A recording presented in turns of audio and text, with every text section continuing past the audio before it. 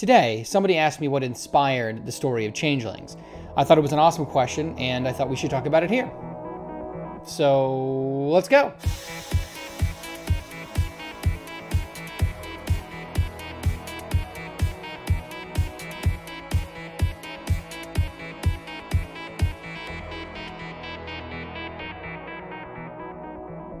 Welcome to the fifth entry of the 90 day marathon for Changelings.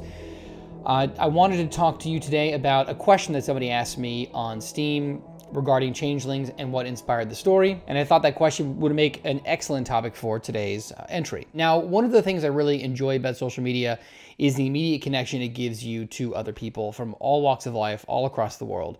And I've been vlogging much more regularly and posting about my efforts to make changelings on the Steem blockchain and to crowdfund in about 80, what, seven days or so on April 21st.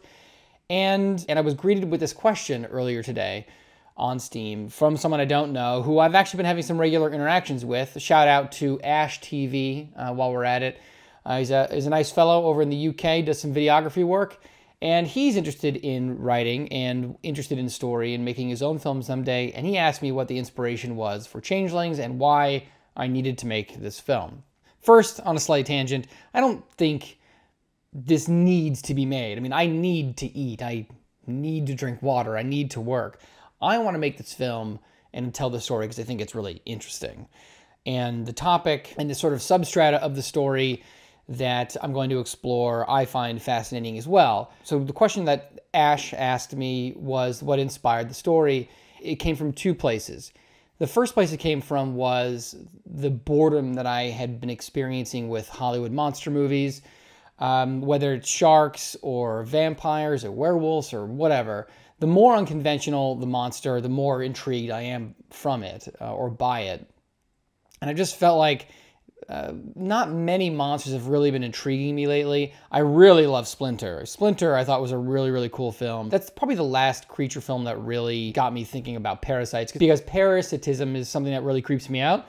And uh, I just I just love that aspect of Splinter. Uh, if you haven't seen it, you should go check it out. The other creature film that continues to inspire me is John Carpenter's The Thing, and it really encapsulates a lot of what inspired me to make Changelings. So first I'm kind of bored with monster movies or just generally creatures out of the uh, you know out of the film world. I, I, just find kind of boring lately.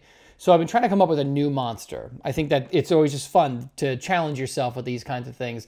What would be something that either you haven't seen before or something that you think is fresh or just something that really you know inspires you to explore further. The best part about coming up with a new creature is that you can always take little bits and pieces from the old creatures to come up with something wholly new and, and hopefully terrifying. So the creature of changelings is a shapeshifter more or less that combines attributes of vampirism and lycanism. And I thought that a shapeshifting creature that looks human was the perfect fit for today's society and, and how it's changing. I don't think that movies have to be contemporary or be informed by contemporary issues, but the nature of identity is something that's been a, really hot topic as of late. I thought that a shapeshifting creature would be a great platform to explore identity. And not in the way that I think we see it sort of explored on uh, as of late. I think that a lot of what I've been seeing is sort of very pedestrian, like sexual identity and that kind of stuff. The aspect of identity that really fascinates me and also kind of scares me is the question as to whether or not we have as much control over our identity and our free will as we think. Identity is an interesting and I think fertile ground uh, to explore for horror. People typically will reference identity as something that is sort of self actuated, it's something that you possess or create. But just to make this a little bit more concrete, I've pulled up a definition of identity on uh, Wikipedia, and let's just read what it has to say. On Wikipedia, under identity and social science, a person's identity is defined as the totality of one's self-construal, in which how one con construes oneself in the present expresses the continuity between how one construes oneself as one was in the past and how one construes oneself as one aspires to be in the future. God, that is a mouthful. Now, this is sort of suggesting that there is some, that in order to have an identity, there needs to be some kind of continuity uh, between the past, present, and potentially the future, because we don't know how much of your, we don't know how much of you is controlled by you. And I, I guess what I'm saying by that is we don't know how much of your identity is made up of your will, of your free will, and, and, and how much it was made up of, of it, say, of biology or social influences that, that push you in certain directions. My limited understanding of, of identity as far as like uh, science or literature goes, it looks like it's sort of up in the air. Because we just don't know where one begins and one ends. You know, some people will say that identity is something that's self-actuated. But is the identity that you're expressing, is that merely an expression of your genes? Is it an expression of both will and biology? Is your will merely a creation of your biology? I think that that's what's really interesting about identity because it's an existential problem. It's something that's very difficult to answer. It pushes into the realms of spirituality. And when you're talking about identity, and I think especially with, with changelings, is that the creatures that look human have changed identity so often that they effectively have none. And this definition sort of touches on it a little bit because there's very little or no continuity between the past, present, and future as to how one constructs oneself. You could argue that in changelings, the creatures have no identity based on this definition alone.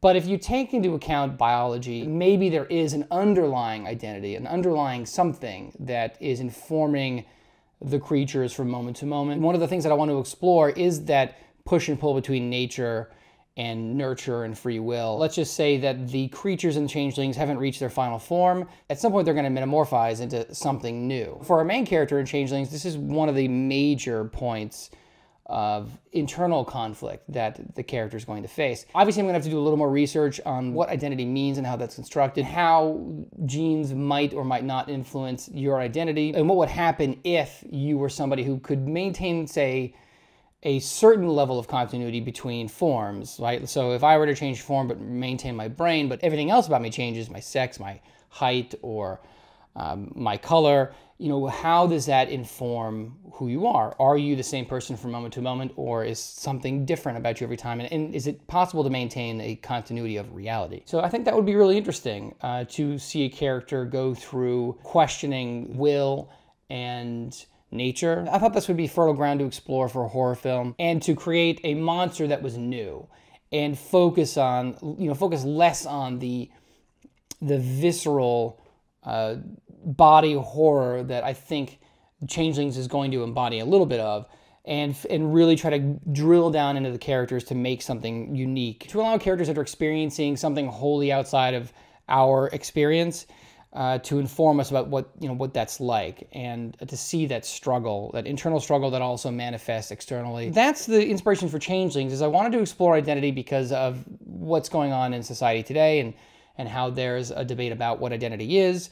Uh, I think that identity is a little more complex than self-actualization. I think that there's probably a balance between uh, nature, nurture, free will, but also how others see you, because identity can't just be internalized, right? Because if if I'm a crazy person and I think I'm King Arthur, but uh, I'm just a homeless person, well, you know, clearly there's a disconnect between what I believe to be my identity and reality. So I, I, think that that is also an aspect that is worth exploring. I'm not sure if that's going to make it into the film as a theme, but I think that it just demonstrates that uh, identity being a function of reality is a little more complex than just declaring I am this or I am that. Perspective matters, and perspectives perspectives outside of yourself matters. Objectivity plays a part in our lives and in the real world. And I'm excited to explore these kind of internal states and this debate uh, and to sort of lend, you know, you know, toss my head in, into the ring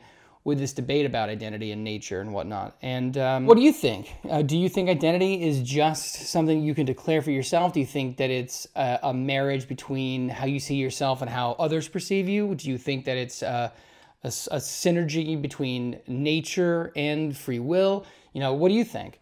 Uh, in any case, that's it. That's the um, that's the gist of that.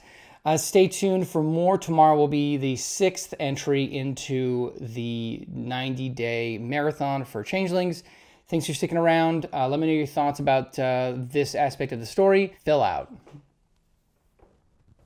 Thanks for watching. If you like what I do here, hit that subscribe button, find me on Steem, and support me on Bitbacker. For only $2 a month worth of Bitcoin or Bitcoin Cash, you'll get exclusive content, early access to everything I do, and access to my private Telegram channel where you can ask me any question you like about the process of making changelings with cryptocurrency. All right, see you there.